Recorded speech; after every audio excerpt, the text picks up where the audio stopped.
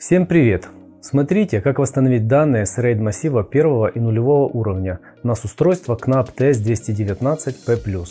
Как вернуть случайно удаленные файлы из корзины и что делать, если функция корзины не активирована. Потерян доступ к дискам массива в результате выхода из строя сетевого хранилища или RAID находится в деградированном состоянии.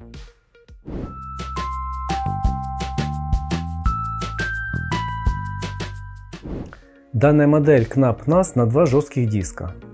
Для повышения надежности хранения информации NAS предоставляют возможность создавать RAID массивы различных уровней. Но даже самыми надежными системами хранения данных могут произойти непредвиденные ситуации, такие как случайное удаление информации, форматирование накопителя, его повреждение, сбой системы, выход из строя контроллера или другой аппаратной части устройства и так далее. В результате чего может быть утеряна важная информация. Конкретно данная модель поддерживает два типа RAID – первого и нулевого уровня, а также Gbot, который еще называют линейным RAID, который по сути не является RAID. В итоге избыточность на данном NAS обеспечивает только зеркальный RAID, а в случае выхода из строя диска в RAID 0 или Gbot часть информации будет утеряна. В данном видео мы рассмотрим случай поломки устройства, так как в результате его выхода из строя все файлы остаются на дисках, но достать их без стороннего программного обеспечения нет возможности. Дело в том, что в NAS хранилище используется своя операционная система, которая определенным образом собирает RAID и записывает на диски данные. При подключении этих дисков к другому устройству или ПК они не смогут восстановить его состояние примеру, при подключении накопителей к компьютеру с операционной системой Windows вы увидите разделы с нераспознанной файловой системой. Или для доступа к дискам операционная система предложит их инициализировать или отформатировать, что в свою очередь затрет оставшуюся на них информацию. И вы не только не получите доступ к файлам, а и вовсе их потеряете. В операционной системе Linux разделы дисков отображаются как Linux RAID. Монтирование недоступно. Помните, если инициализировать диски Windows или изменить раздел в Linux, это может затереть всю информацию, что затруднит дальнейшее восстановление. Ни в коем случае не рекомендуется выполнять какие-либо манипуляции с накопителями, если вы не уверены в своих действиях. Иначе вы можете окончательно потерять данные. Для того, чтобы достать из дисков информацию, вам понадобится специальная программа, которая заново соберет из дисков RAID и позволит вернуть из них все оставшиеся файлы. Для общего понимания построения RAID давайте рассмотрим, как его создать на данной модели хранилища. При начальной настройке хранилища на пятом шаге вам будет предложено настроить способ хранения данных. Диски, из которых будет построен массив, уже отмечены. Ниже нужно выбрать один из предложенных типов RAID. Первый, нулевой или Gbot. Выберите нужный уровень RAID и нажмите Next. Если вам нужно изменить уже существующий RAID, прежде нужно будет удалить все ранее созданные тома. Для этого откройте меню Storage Manager. Здесь выделите все тома и кликните по кнопке Remove. В результате вы увидите окно с предупреждением о том, что все данные будут удалены. Для подтверждения нажмите ОК. Теперь для того, чтобы собрать диски в RAID, выше кликните по кнопке Create. Укажите нужный тип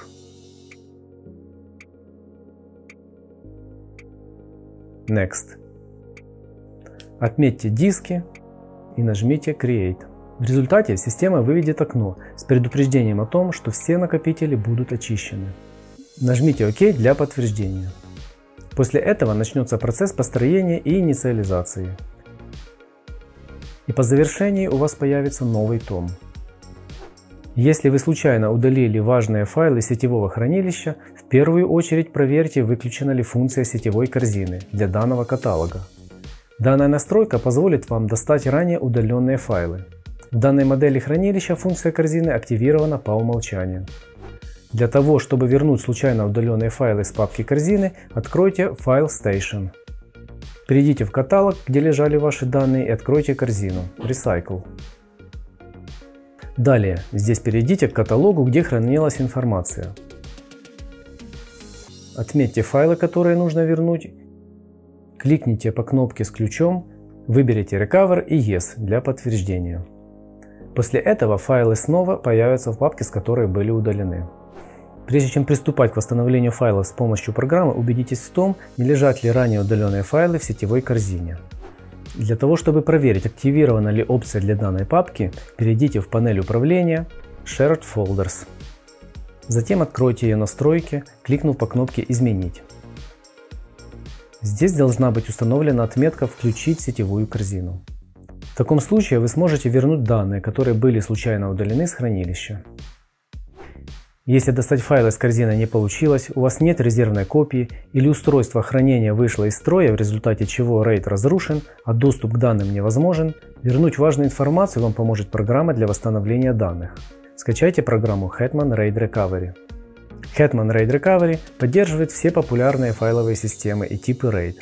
В автоматическом режиме соберет из диска разрушенный RAID, и вы сможете достать из него информацию. Для начала процесса восстановления извлеките диски из сетевого хранилища и подключите напрямую к материнской плате компьютера с операционной системой Windows. При выходе из строя накопителя, в зависимости от уровня RAID, вы можете потерять часть данных, которые восстановить не получится. Если вы используете нулевой RAID, при выходе из строя одного диска часть информации будет потеряна безвозвратно. Дело в том, что данный тип массива ориентированный на производительность методом чередования данных. Это означает, что информация записывается на каждый из дисков частями, что обеспечивает высокую производительность ввода-вывода при низких внутренних затратах. Но в свою очередь это не обеспечивает избыточности. При такой ситуации будьте готовы, что вернуть данные полностью не получится. После подключения накопителя и запуска программы она в автоматическом режиме начнет сканирование дисков и построит из них разрушенный RAID.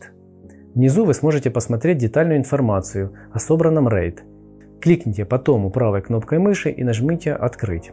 Затем выберите тип анализа – быстрое сканирование или полный анализ. При полном анализе нужно указывать тип файловой системы, которая использовалась на дисках. Для начала рекомендуется выполнить быстрое сканирование если программе не удалось найти нужных файлов, вернитесь в главное меню и запустите полный анализ. Кликните по диску правой кнопкой мыши и выберите «Проанализировать заново». Полный анализ. Укажите файловую систему. Просканировав диски, откройте папку, где лежали файлы, которые нужно вернуть. Программа сохраняет всю структуру и имена файлов, поэтому найти нужные не составит труда. Их содержимое можно посмотреть в окне предварительного просмотра.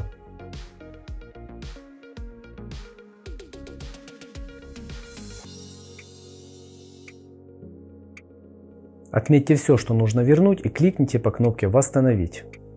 Укажите место, куда сохранить данные, диск, затем папку, а затем «Восстановить». И готово. Все восстановленные файлы будут лежать в указанном каталоге.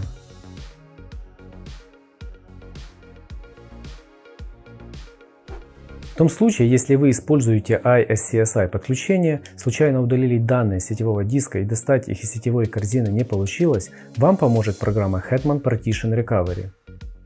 При удалении файлов сетевого диска вам не нужно будет выключать сетевое хранилище и доставать из него диски. Дело в том, что система Windows отображает сетевой ASCSI диск как физический. В результате вы сможете просканировать его с помощью программы как физический диск. Таким образом, вы сможете восстановить данные только в том случае, если устройство в рабочем состоянии и к сетевому диску есть доступ.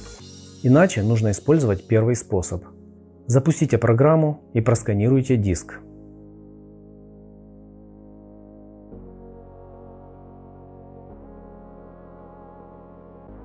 Как видите, программа без труда нашла удаленные файлы. Здесь они отмечены красным крестиком. Также их содержимое отображается в окне предварительного просмотра.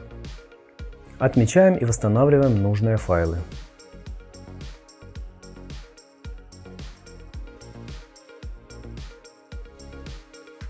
Итак, как видите, восстановить данные сетевого хранилища не так уж сложно. Главное не предпринимать необдуманных действий, так как в результате вы можете вовсе потерять всю информацию. При потере доступа к дискам массива не пытайтесь восстановить его работоспособность путем перенастройки, так как данный процесс невозможен без форматирования накопителей.